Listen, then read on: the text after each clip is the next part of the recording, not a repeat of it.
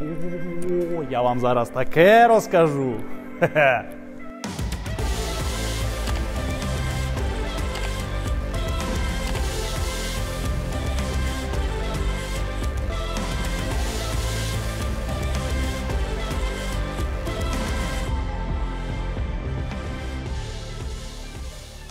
Усім привіт, наші любі підписники ZT Group.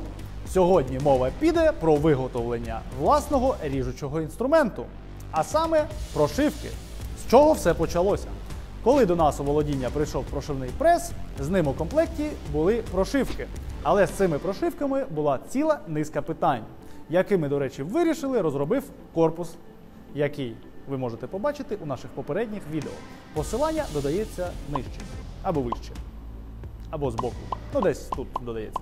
Так от, згодом, поки ми успішно прошивали і прошиваємо наші шпонки, до нас почали закрадатися думки, що шпонка це не єдине, на що здатний наш прес. В нас є багато деталей, які мають внутрішні шліцеві поверхні. Що таке внутрішня шліцева поверхня? Це ось така от втулка, для прикладу, яка буде далі прошиватися у нашому відео. Е, До неї йде шліцевий вал, з яким вони роблять зачеплення. Ось так. Але ці внутрішні шліцеві поверхні потребують окремої операції довбання на дружніх машинобудівних підприємствах. Через це збільшується ціна та час виготовлення однієї або серії деталей. Тому, зважив ці аспекти, ми прийшли до того, що можна зробити інструмент, який би в масштабах нашого виробництва виготовляв ці внутрішні шліцеві поверхні або протягував шліцеві отвори. Так ось до чого я вас підводжу. Так нами була сконструйована та виготовлена прошивка. Основною перевагою такої прошивки є машинний час виготовлення однієї деталі. Для прикладу, на одній з наших складських позицій ця прошивка зробила наш шліц за півтори хвилини. Для прикладу, на устаткуванні довбання такий би самий шліц зайняв близько півгодини, бо кожен зуб робиться окремо та у декілька заходів. А, годі базікати. Давайте вже подивимось, що і як працює і як ми це виготовляли.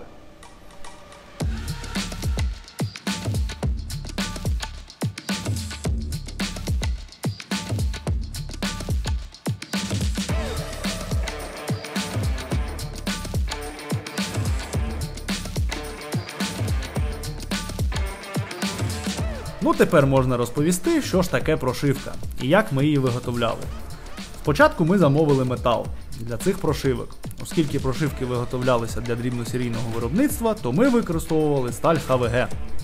Сталь ХВГ це інструментальна сталь, яку використовують для виготовлення ріжучого інструменту, мітчиків, плашок тощо.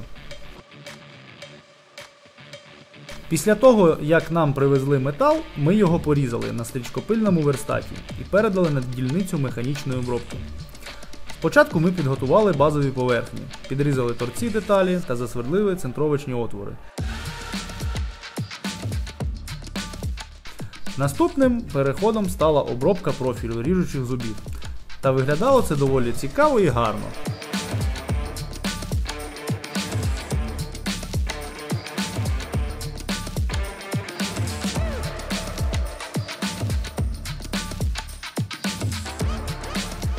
Далі потрібно було їх загартувати. Та вже на цьому етапі ми розуміли, що можуть виникнути питання при загартуванні через те, що довжина наших прошивок була велика. В процесі загартування їх могло покрутити або вигнути. І щоб мати менше проблем після загартування, ми розробили пристосування для загартування у вертикальному стані. До речі, той е, пристосування. Ну, також вийшло, що коли ми знімали відео, вже було все загартовано. Ну, якби ми віддали це пристосування на е, нашу кооперацію загартування. Ну, я вас підводжу до того, що в нас нема що вам показати щодо цієї ну, приблуди. Але в нас є краще. Ми можемо вам показати малюнок цього пристосування. Щодо нього, він має два кругляшечки, які у собі розташовують 6 отворів різьбових, у які вкручуються 6 болтів, загострених на кінці, для того, щоб відтворити так звані центра. Та зажимають наші прошивки у вертикальному положенні. Е, ось це ми ось розробили так, е, ну і видали у виробництво згідно креслення.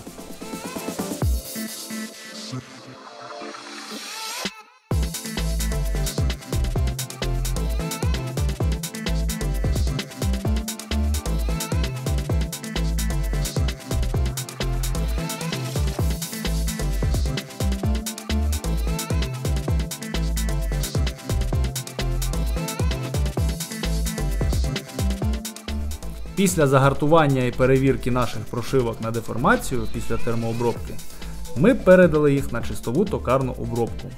А оскільки вони були все такі ж рівні, то ми позбавились однієї проблеми і почали проточувати прошивки начисто.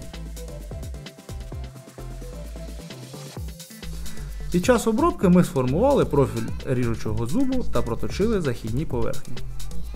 Після того, як прошивки були проточені, вони стали у фрезерний верстат, на якому ми сформували сам профіль шліцу.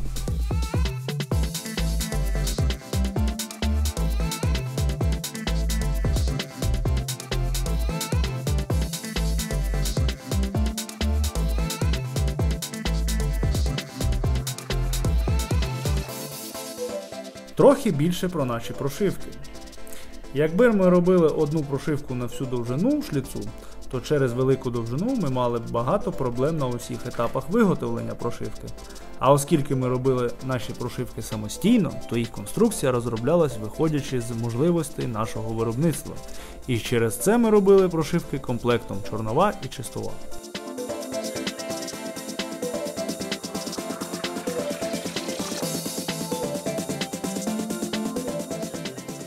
Вони дуже схожі, але на чорновій прошивці гладка західна частина.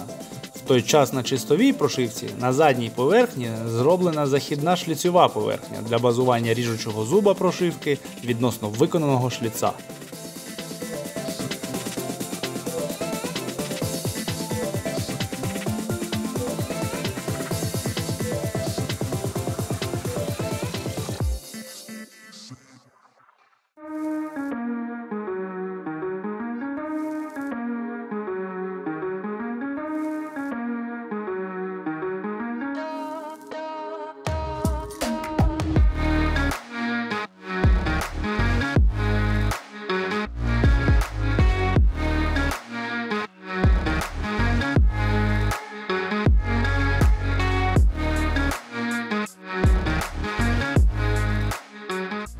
А ось так вона працює. Прошивка встановлюється в деталь парою західних зубів, тим самим базуючись у деталі та задаючи собі напрямок різання. Та починаємо тиснути.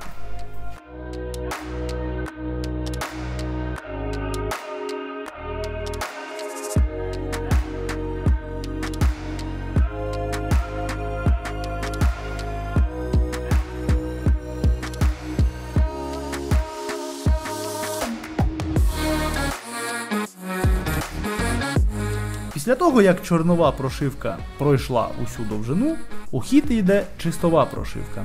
Та вона вже встановлюється у профіль шліца, який в нас вже вийшов після першого проходу.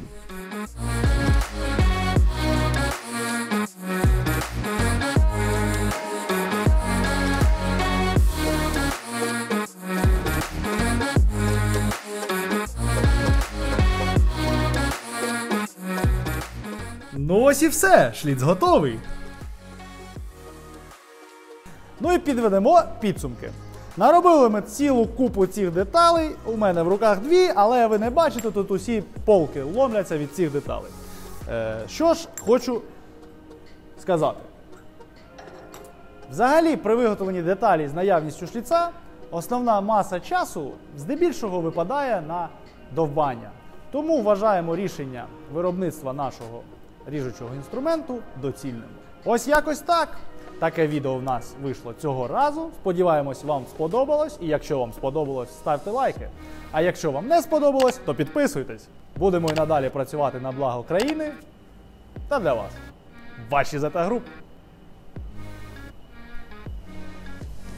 А, тут же ж немає виходу.